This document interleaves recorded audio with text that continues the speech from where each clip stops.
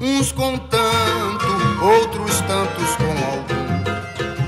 Mas a maioria sem nenhum, uns com tanto, outros tantos com algum. Mas a maioria sem nenhum.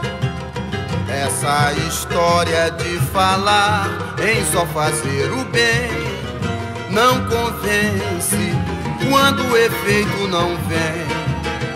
Porque somente as palavras não dão solução aos problemas de quem vive em tamanha aflição. Uns com tanto, outros tantos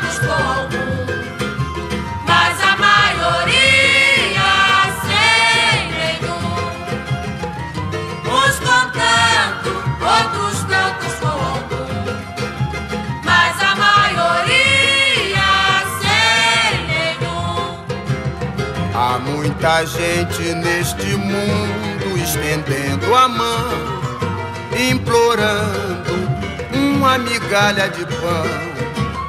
Eis um conselho pra quem vive por aí a esbanjar, dividir para todo mundo melhorar.